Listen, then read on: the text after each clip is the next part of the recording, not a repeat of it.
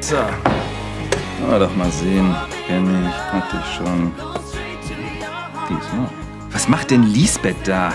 Moment mal. Was machen die da mit meinem Gesicht? Verboten neu, verboten gut. Verbotene Liebe. Jetzt auch täglich in der App.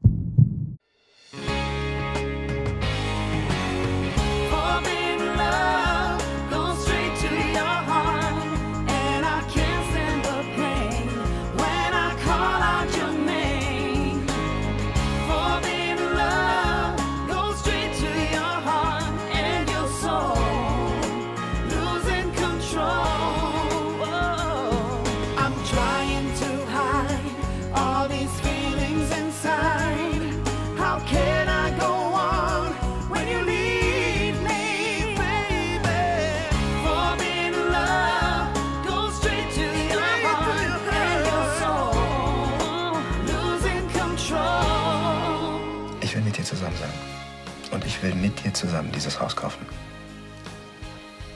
Danke, das war Antwort genug. Ich liebe dich, aber ich. Aber ich kann dir nicht geben, was du willst. Deshalb ist es das Beste, wenn wir uns trennen. Liebst du diese Frau? Ich habe das eine Zeit lang geglaubt, ja. Aber ich liebe nur eine Frau. Das bist du. Aber ich weiß, da ist noch was zwischen uns. Spür ich. Meine Schwester und ich sind in den gleichen Mann verliebt. Das war's. Dein Plan, die Tore aus dem Kopf zu schlagen, hat nicht funktioniert. Hm? Ich bin nicht in Tore Hellström verliebt. Ich bin nicht in Tore Hellström verliebt. Ich bin nicht in Tore Hellström verliebt.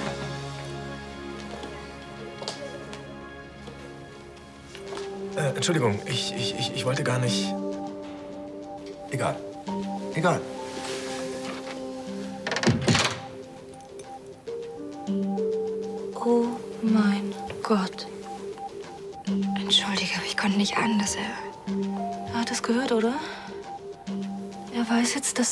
Ich in ihn verliebt bin. Was mache ich denn jetzt? Ist es dein Ernst? Du machst einfach so Schluss? Versteh mich doch, es funktioniert einfach nicht. Ich kann das nicht mehr. Hast du eigentlich gehört, was ich gerade gesagt habe? Du hast mich doch selbst gefragt, was mir wichtiger ist. Maxi oder du? Ricardo, ich liebe dich. Es geht hier nicht nur um dich. Es geht auch um Maxi. Und er gehört zu seiner Mutter. Und ich gehöre zu ihm. Deswegen musst du doch nicht. Ich halte dich auf. Verstehst du? Und das will ich nicht. Ich will nicht, dass du wegen mir auf irgendwas verzichtest.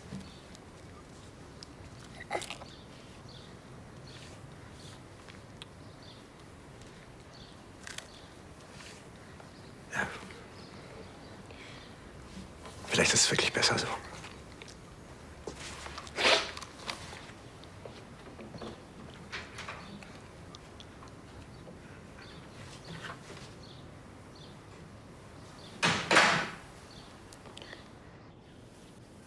Hörst du das? Was? Nichts. Tut gut, hm? Drei Monate im Koma haben mein Bedürfnis nach. Nichts ziemlich gedeckt.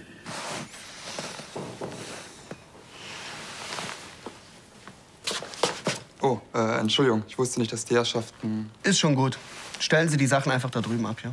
Das sind dann auch die letzten Gepäckstücke der Gräfin.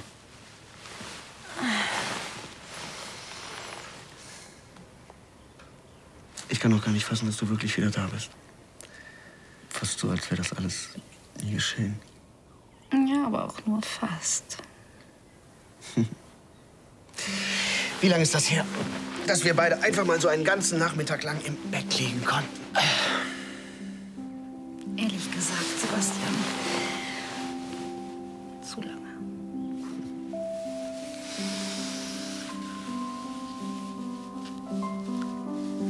Äh, eigentlich ähm, wollte ich noch was mit Tristan besprechen. Ja, aber du bist ja nicht mehr der Vorsitzende von Landstein Enterprises und somit nicht mehr verantwortlich für alles. Insofern lass die Zügel einfach mal ein bisschen locker.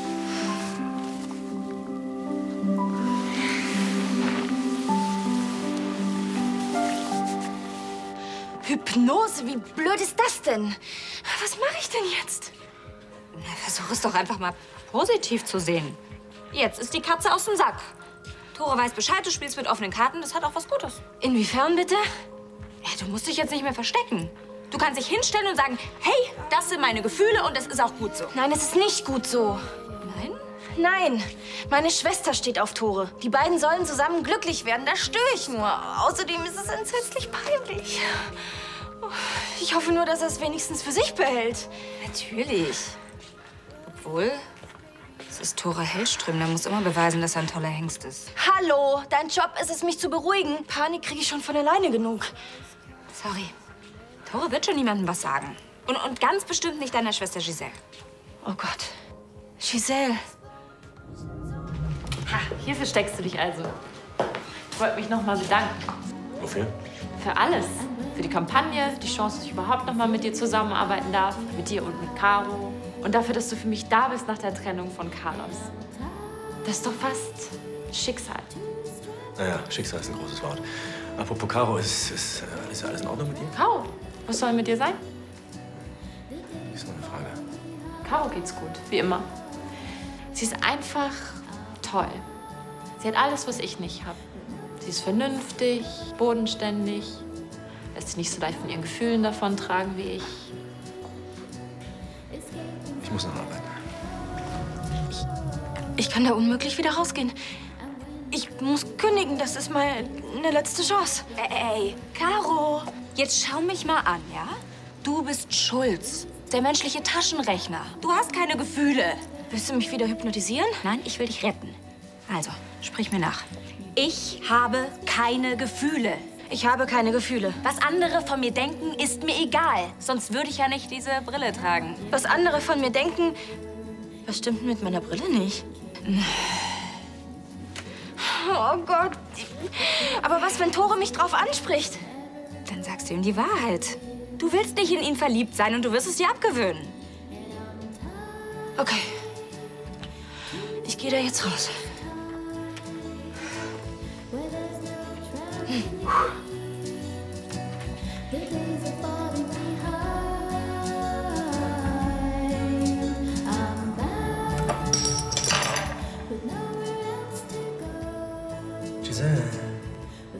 Ah, du musst arbeiten, schon klar.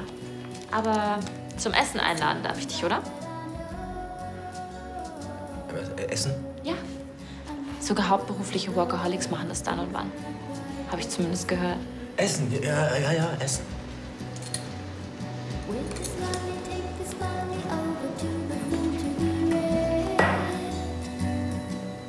Sag mal, waren, waren diese Knöpfe immer schon so Jetzt mach doch mal langsam.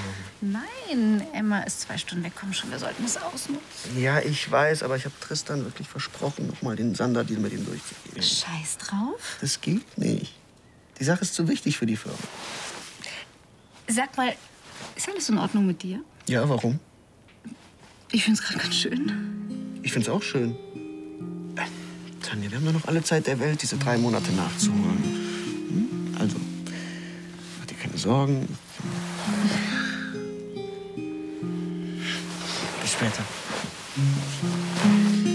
Ach ja, und ähm, lauf mir nicht weg.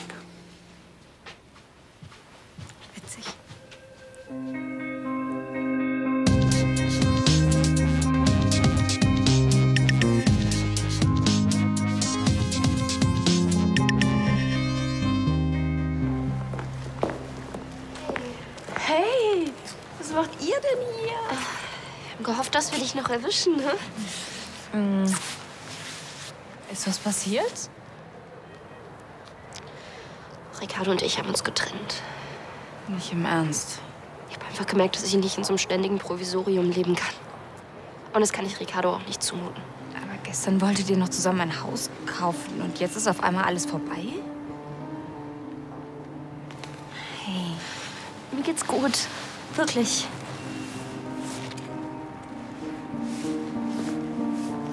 Wie hat Ricardo reagiert? Ich glaube, er denkt jetzt, ich liebe ihn nicht mehr. Oh Mann. Mama Maxi, das war's dann wohl mit dem Ersatzpapa. Es ist das Beste für ihn. Glaub mir. Weißt du, ich so habe ich auch viel mehr Zeit für dich und Maxi. Wir können viel mehr miteinander unternehmen, müssen uns keinen Kopf machen wegen der Betreuung. Es wird toll. Das heißt, du hast deine große Liebe für Maxi und mich abgeschossen? Mensch, Dana, das geht nicht. Ricardo hat seinen Job in Boston sausen lassen. Für dich. Sowas macht man nicht einfach so. Mensch, der liebt dich. Deshalb ja. Ich habe das auch für ihn getan. Ich will, dass er frei ist. Wir tun ihm nicht gut, okay?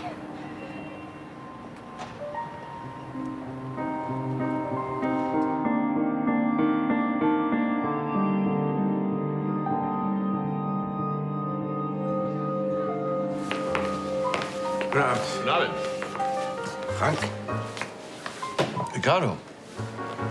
Schlechten Tag gehabt? Das wäre untertrieben. Kann ich Ihnen etwas bringen? Dann bringen Sie mir doch so einen 94er Rioja und noch ein zweites Glas für meinen Freund Sherlock. Sehr gerne. Äh, danke, ich bleib lieber bei mir. Wie du meinst.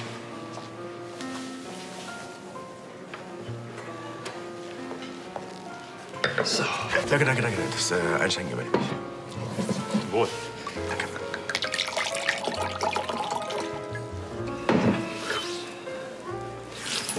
die Frauen. Auf die Frauen. Die wir lieben, aber nicht verstehen. Stattdessen rackert man sich ab. Man versucht alles. Ist verständnisvoll, rücksichtsvoll, geduldig, großzügig, treu. Und dann? Dann verlässt sie einen, weil es vernünftig ist.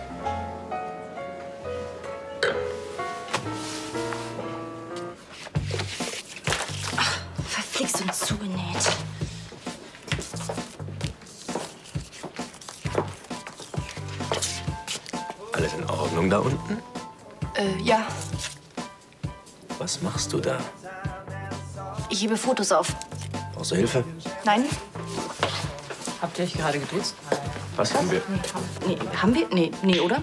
Komisch, mir war so, als hätte Tore dich gerade geduzt. Hätte ich ja gut gefunden. Ich aber nicht. Warum nicht? Professionelle Distanz. Das ist wichtig, damit die anderen Kollegen nicht denken, dass ich bevorzugt würde. Ha. Ja, äh, wir sind dann auch fertig für heute hier, oder? Ja, sind wir. Ich ähm, gehe noch die Fotos schnell. Tschüss, Giselle. Tschüss.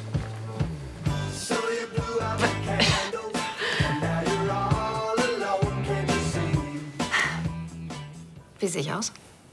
Gut. Wenn ich es nicht besser wüsste, würde ich denken, du warst drei Monate im Urlaub. Du bist eine erbärmliche Lügnerin. Wieso bist du denn so verunsichert?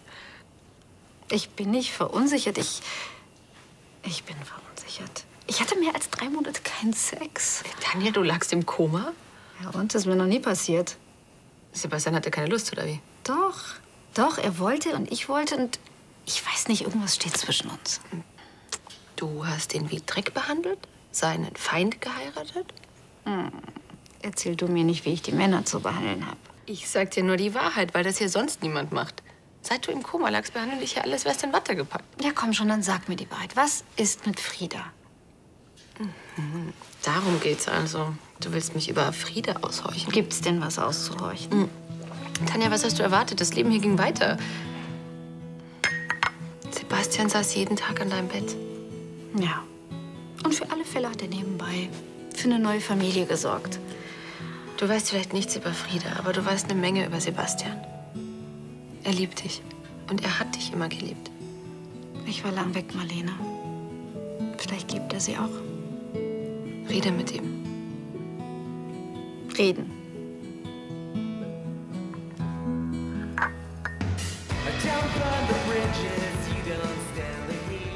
Und dann kriege ich auch noch vor ihm auf dem Boden herum. Ich weiß nicht, was mit mir los ist. Okay, da hilft nur noch eins. Leg los. Was soll das? Es beruhigt dich doch, Sachen zu ordnen. Also, fang an. Ja, aber ich bin doch kein Rainman oder sowas. Ich zähl doch jetzt nicht hier diese Dinger. Ja, aber du könntest diese Dinger sortieren und dann wieder in ihre Gläschen packen. Hm?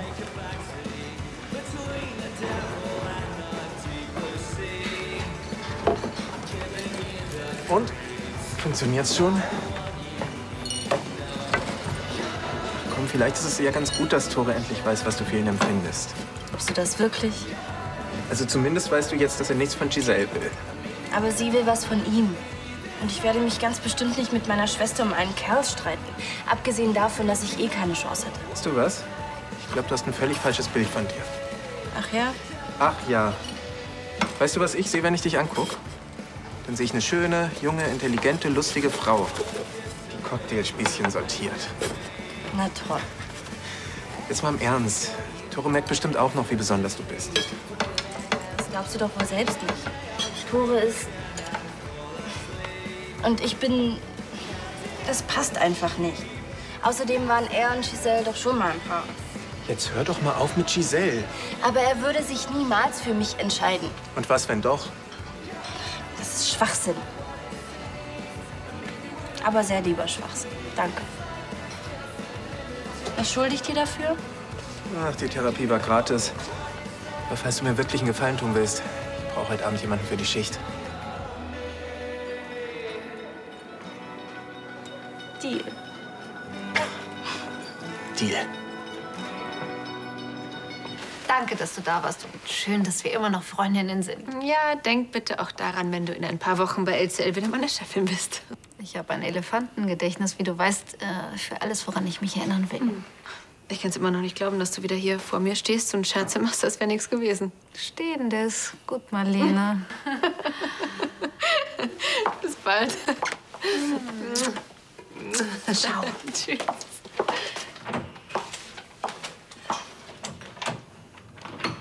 Ja.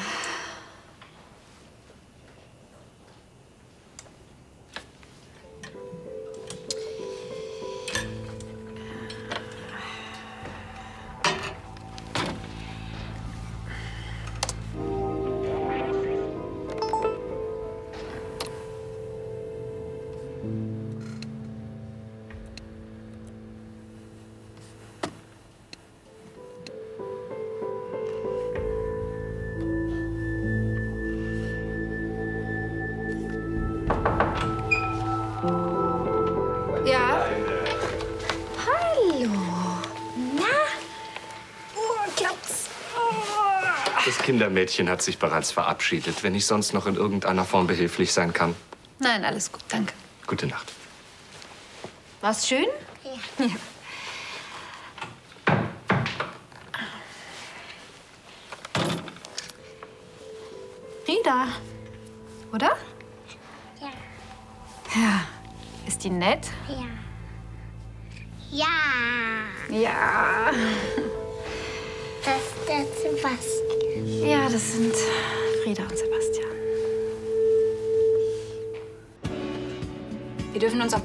Irgendwas anmerken lassen. Ihr wisst ja, wie Dana ist. Das Beste ist jetzt einfach Normalität für sie. Hey, Hey, was ist denn hier los? Kriegsrat? Dana hat sich von Ricardo getrennt.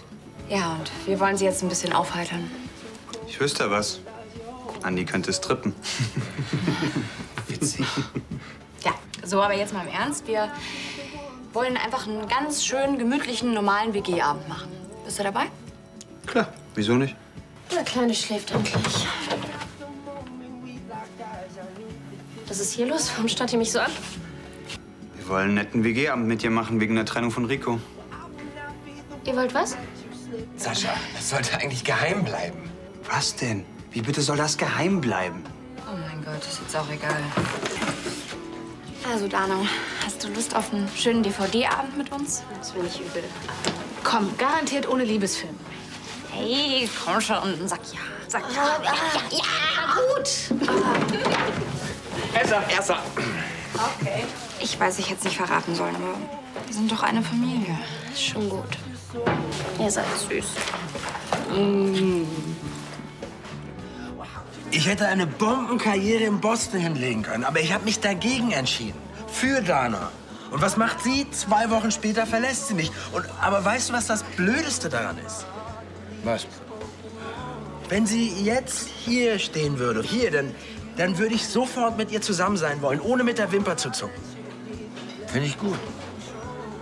Ja, finde ich auch gut. Sehr gut finde ich das. Oder hältst du mich jetzt für ein Weichei? Vorher für ein Weichei gehalten. Ja. Ich hab dich auch nicht gemocht. Aber du bist gut für Charlie. Und weißt du was? Wir wären heute nicht zusammen, wenn ich nicht an ihr drangeblieben wäre. Damit willst du mir irgendwas sagen? Ja, die Frau macht Schluss mit mir und ich mach nichts dagegen. Aber damit ist jetzt Schluss. Schluss ist damit jetzt. Mit dem Schluss machen. Schluss. Halt, halt, was, was hast du denn vor? Na, Dana davon zu überzeugen, dass sie wieder mit zu mir zurückkommen soll. Ist das so eine gute Idee? Ich meine, jetzt? Klar. Hier. Schreib. Was soll ich denn schreiben? Schreib auf, was du Dana sagen willst. Meine Erfahrung ist, wenn man nicht mehr schreiben kann, kann man auch nicht mehr quatschen. Steht das so im Polizeihandbuch? Handbuch zur Vermeidung peinlicher Auftritte. Du bist echt witzig. Hat dir das schon mal jemand gesagt?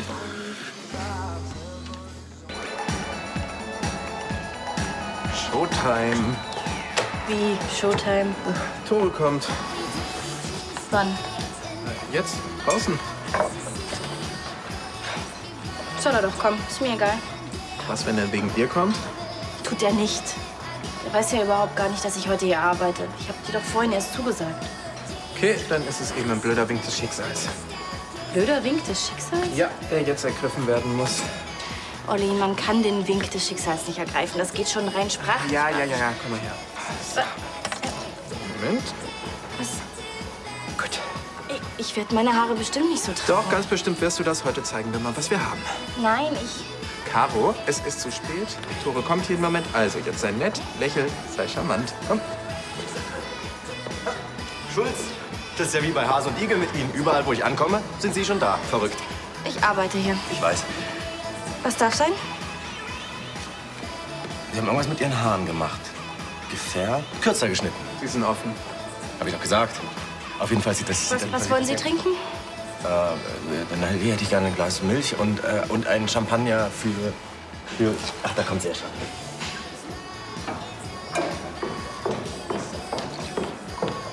Hey, ich wusste gar nicht, dass du heute hier arbeitest.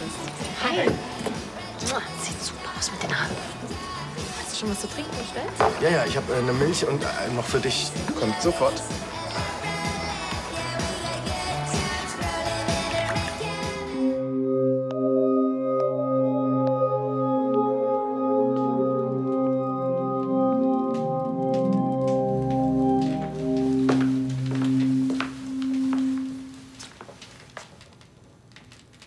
Ziemlich dunkel hier drin. Mir war danach.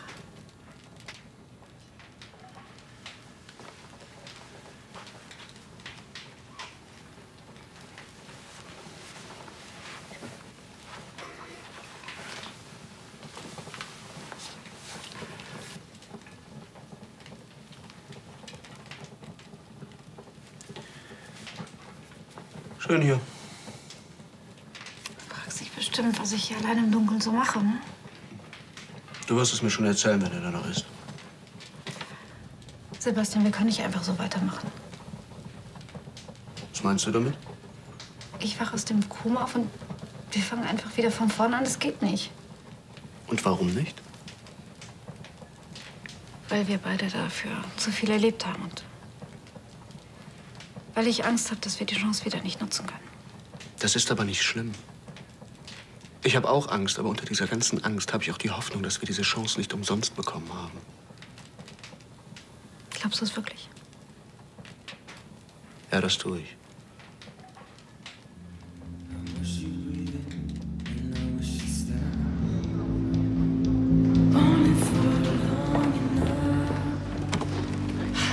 Na, wie läuft's?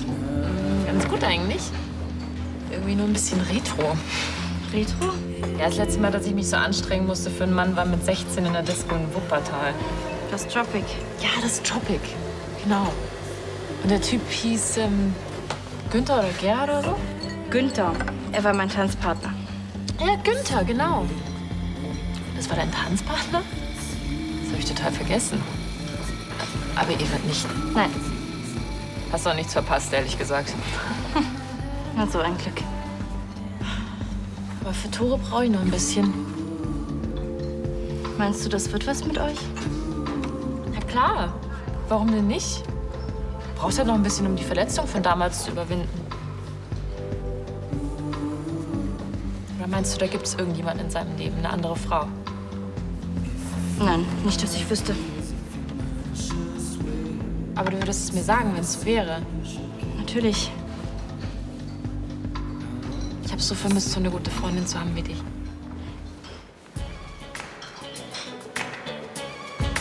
Ey, das gibt's doch nicht.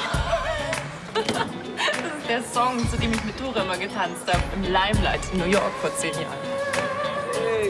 Our song, baby.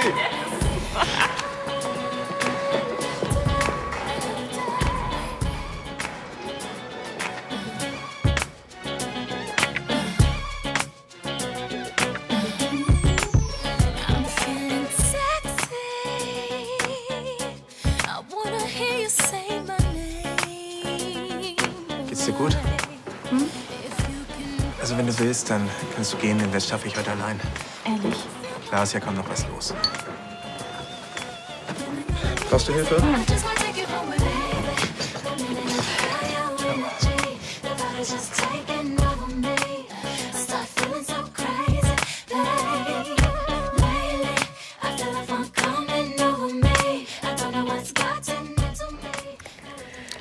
Ich stehe auf den Streifen.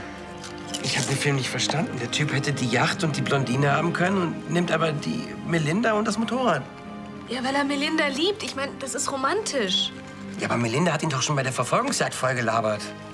Will noch jemand ein Bier? Jo, ich... Ich glaube, ich muss jetzt ins Bett. Jo. Für mich nicht. Ich muss noch mal nach Maxi sehen.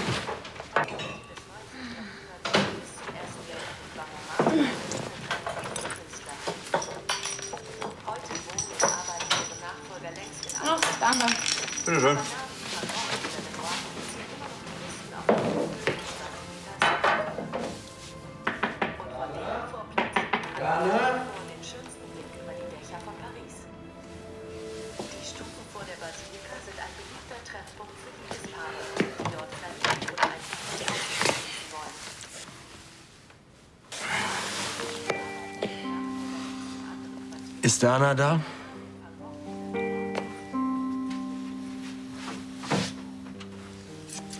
Nicht so ein guter Augenblick. Komm morgen wieder. Ist schon gut, ich kümmere mich um ihn.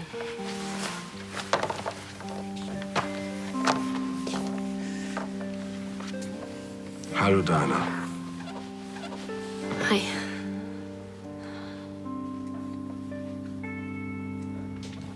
Und du warst wirklich jeden Tag bei mir am Krankenbett und hast mit mir gesprochen, obwohl ich im Koma lag. Dr. Mendes meinte, das wird dir helfen. Was hast du mir so erzählt? Alles Mögliche. Was den Tag über so passiert ist. Was, was Emma für neue Tricks gelernt hat. Dinge eben, zu denen ich gern deine Meinung gehört hätte. Hast du mir von ihr erzählt? Von Frieda. Ähm, ein bisschen, ja. Dann bin ich froh, dass ich mich nicht erinnern kann. Müssen ja ziemlich einseitige Gespräche gewesen sein. Ach nein, ich fand's eigentlich ziemlich toll. Endlich hattest du mal nicht ständig das letzte Wort. Seit wann muss ich das letzte Wort haben? du wünschst dir also eine Frau, die immer schön den Mund hält, ja? Würde ich dann hier sitzen? Ich weiß nicht, vielleicht stehst du auf Frauen im Rollstuhl, weil die sich nicht so gut wehren können. Ah, Erwischt, ja, ein bisschen stehe ich drauf. Apropos, ich habe mit den Ärzten geredet und wir dürfen wieder. Du warst jetzt nicht bei Dr. Mendes und hast ihn gefragt, ob wir Sex haben dürfen. Doch natürlich ist ein Arzt und er hat gesagt, es besteht keine Gefahr. Gut, auf die Nummer im Stehen müssen wir noch eine Zeit lang verzichten, aber ich denke, das. Sebastian, was machen wir noch hier? Das frage ich mich auch. Schon die ganze Zeit. So, wie machst du das jetzt mit der Treppe? Aufstehen. Äh.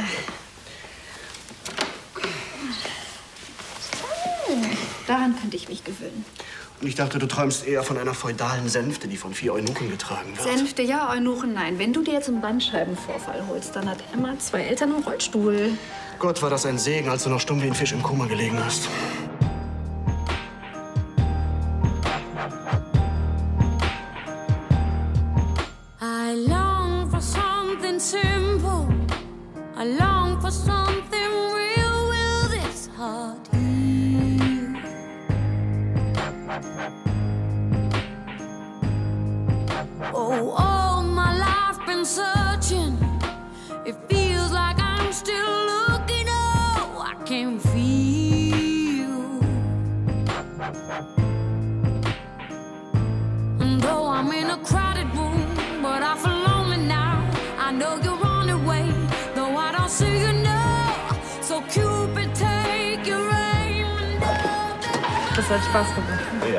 Nett.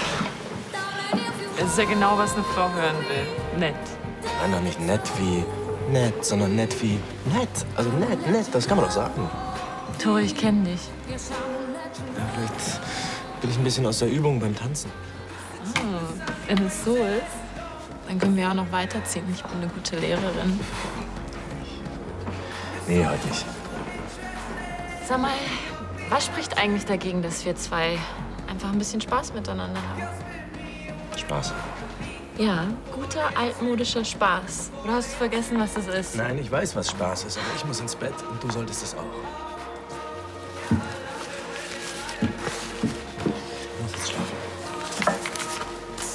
Hast du nicht was vergessen? Was denn? Den Abschiedskuss.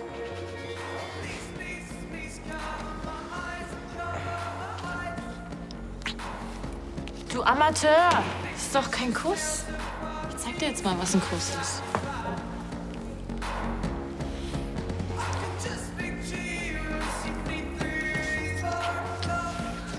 Na, schon besser. Ich muss jetzt wirklich in mein Bett und du solltest in deins. Ich.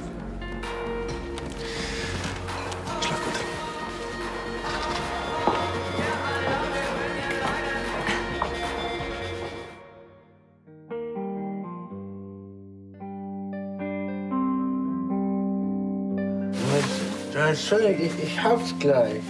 Hallo, das ist doch jetzt nicht nötig. Doch, doch, halt mal kurz. Ah, ich, ich hab, hab dir extra ein Gedicht geschrieben.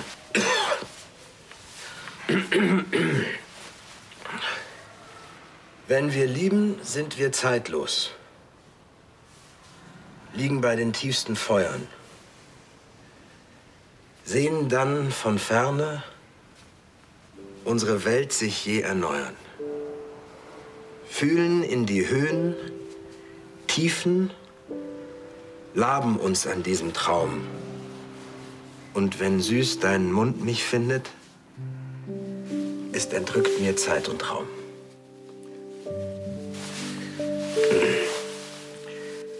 Dana, liebste Frau des Lebens, lass mich nicht am Abgrund stehen. Denn wenn alles nichts mehr wert ist, muss die Welt zugrunde gehen. Ich liebe dich, Dana. Ohne dich ist alles nichts.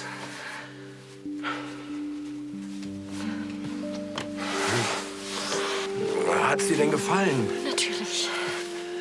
Ich, ich weiß, Dana, dass du jetzt denkst, ich bin betrunken, aber das ist so nicht. Also doch, das ist schon so. Ich, ich, ich bin betrunken, aber... versteh schon. Na, warte, warte, warte, lass mich ausreden. Ich, ich liebe dich wirklich.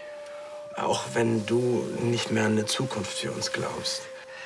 Ich liebe dich doch auch.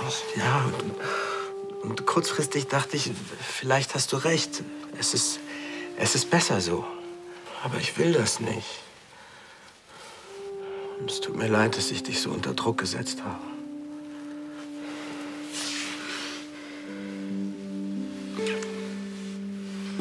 So, und jetzt ist auch Schluss mit Weinen, ja?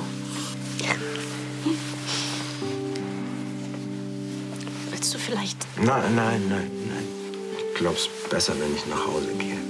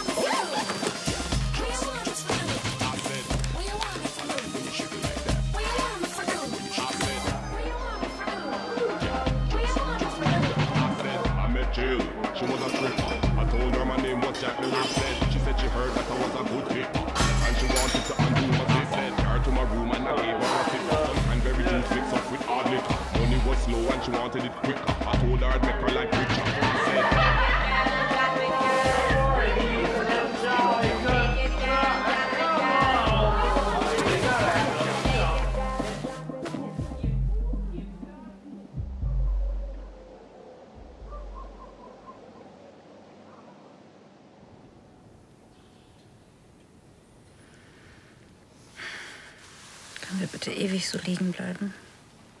Ohne Firma, ohne Reha. Ohne unser ganzes Restleben. Kannst du mir bitte mal mein Handy geben? Siehst du, genau das habe ich gemeint. Ich muss einen wichtigen Anruf erledigen. Was kann jetzt so wichtig sein? Ich habe vergessen, Dr. Mendes zu fragen, ob du auch mehr als einmal am Tag Sex haben darfst. Ich rufe ihn selber an. Du bist offensichtlich nicht in der Lage, die einfachsten Dinge selbst zu klären. Nicht nötig. Ich glaube, ich weiß inzwischen, welche Behandlung dir gut tut.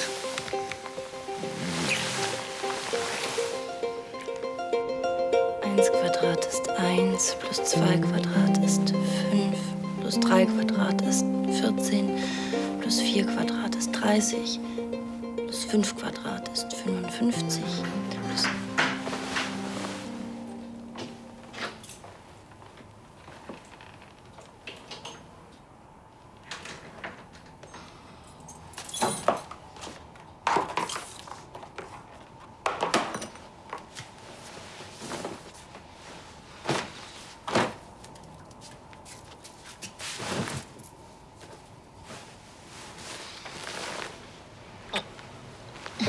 Na, tschüss. Ah.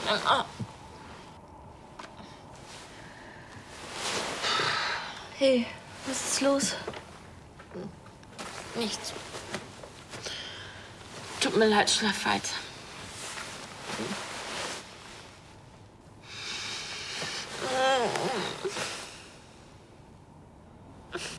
Ah.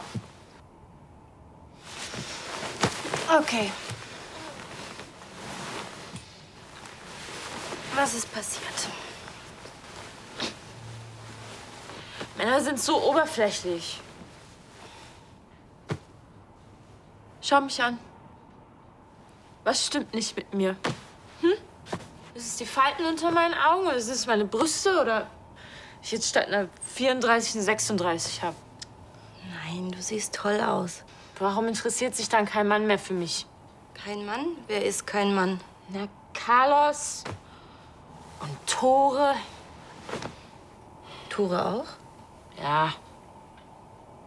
Ich wollte doch einfach nur, dass wieder alles so wird wie früher zwischen uns. Und das wollte er nicht? Nein. Das heißt, es ist nichts zwischen euch gelaufen? Nein. Ich muss einfach wieder mehr Sport machen. Ich probiere doch mal dieses Fruchtsäurepeeling. Hat er irgendwas angedeutet, warum er nicht?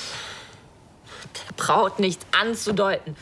Ich weiß ganz genau, was dahinter steckt. Und was? Na, irgendeine Frau. Und ich werde auch schon noch herausfinden, wer das ist. Bist du sicher, dass es eine Frau ist? Hat er irgendwas Konkretes gesagt? Nein, aber ich kann es spüren. Hm.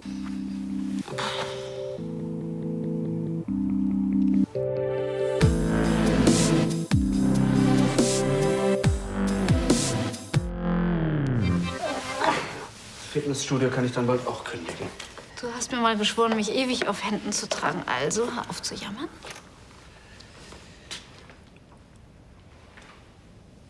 Justus sieht besorgt aus. Er sieht immer so aus. Ist dir das noch nie aufgefallen? Tut mir leid, die Herrschaften zu stören, aber Was ist denn, Justus? Ist es so schlimm? Ganz wie man es nimmt. Sie haben einen Gast, der im Salon wartet. Ein Gast? Jetzt tun Sie mal nicht so geheimnisvoll. Raus mit der Sprache. Wer ist das? Hallo Sebastian.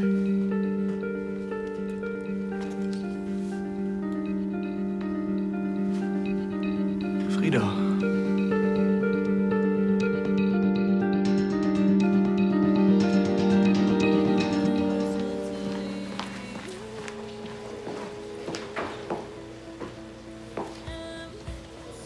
Schulz? Ich wollte es eigentlich auf sich beruhen lassen, aber ich finde doch, wir sollten über diese Sache reden. Reden. Okay. Und worüber? Gefühle. Was? Zunächst einmal möchte ich Ihnen sagen, dass ich finde, dass wir in letzter Zeit sehr gut zusammenarbeiten. Wir sind ein gutes Team. Ja, finde ich auch. Und ich bin mir sicher, du, Sie wirst, werden sich hier prächtig entwickeln. Sie haben Talent. Danke. Ich hätte das eigentlich schon viel eher sagen wollen.